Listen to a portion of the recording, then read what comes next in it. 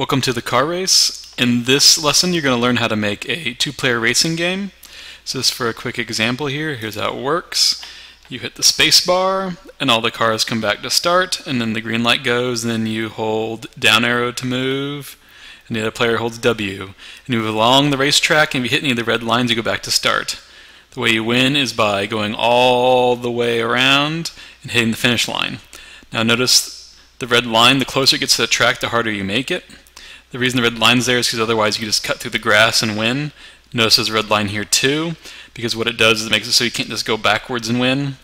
So if you look on the stage, I have multiple stages. The way you draw them is you just click on the new backdrop button, get the paint bucket out, pick a color, paint it, hit the paintbrush, make it thick so it's easier to draw, pick a second color, and you just can draw a track. So you can either use the this line tool, the paintbrush, you could, if you want to be more exact, you could use the line tool. And it lets you do more, a little bit sharper lines. So just decorate it however you want to be. You want to be on hot lava, it could be on hot lava, lava, whatever you want to do. So with the sprites, all I do is you could either get a sprite from the library, so you could find maybe a car you like online, or you could just draw a car real easy. So you click on the paintbrush right there and then you paint and the way I did that is use the square tool. Make sure to click on the fill. I made a little square.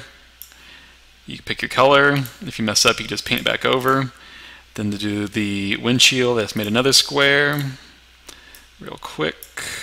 And the wheels you can make a square. You could do it like that or you could kind of be cheating and you could kind of copy and paste a little bit if you want but it's not exact. You're going to make it small, so the smaller the car is, the easier it is to fit on the track. A big car is hard to fit. And you're going to code one car. So what you're going to do is, I'm going to show you the code here. It's in the instructions. Space bar is going to start it. And the score is going to be set to zero. And it's going to reset the time every time. You set the size smaller. Everything's color coded. So this comes from here. This comes from sensing. This comes from looks. He's got to match up the colors. And this forever. Notice the forever hugs all this code.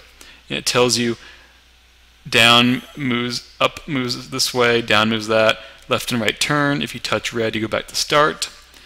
If you touch a finish line, you go back to start, you get a point, and you say the player wants time.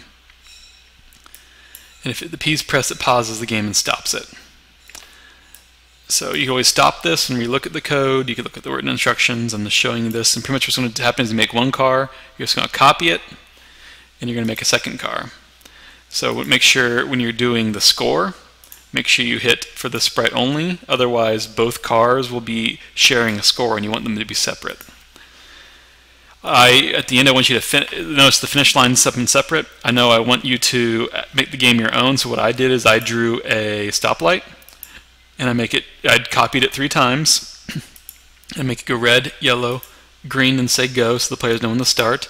So notice right here when the space bar is clicked, it goes one costume, wait, second costume, wait, wait, and waits three seconds because the three seconds is there because if you noticed here, it takes three seconds to glide back to the start. And what I have you wait one second here because Scratch can move so fast that your eyeball won't be able to even see it. So you have to have it wait a little bit. You could make it smaller. You could make it half a second. You could make it 0.1 of a second, but it'll be very quick. So I just did one second.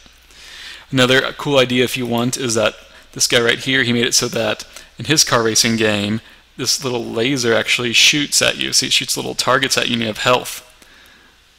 So the way he did that is a little complicated. I'm going to show you the code in case you want to copy him. It follows the X and Y position, follows the turret. The turret points always towards the car. It, shoot, it repeats until it touches the edge. If it hits the car, so this is the missile right here. So it always the ball always appears at the end of the turret, and it follows the car. If it touches the edge, it hides. And the turret's right here, so if you want to add a little turret to your game, go ahead and pause this video and you can add it to it after you make your two cars.